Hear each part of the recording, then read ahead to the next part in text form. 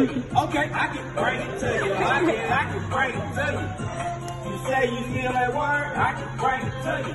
Going store or the church, I can bring it to you. When you speak, mountains move. I believe there will be breakthroughs. FCA, it stands for Fellowship of Christian Athletes. Every Tuesday morning, we meet in the large gym.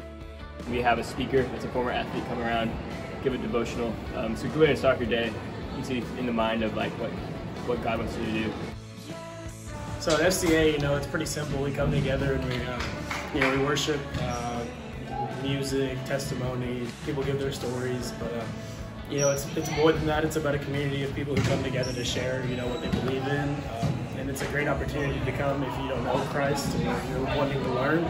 Um, it's a great opportunity and a great tool you can use to grow uh, closer in your faith. Even if you don't think you're needed, you are needed.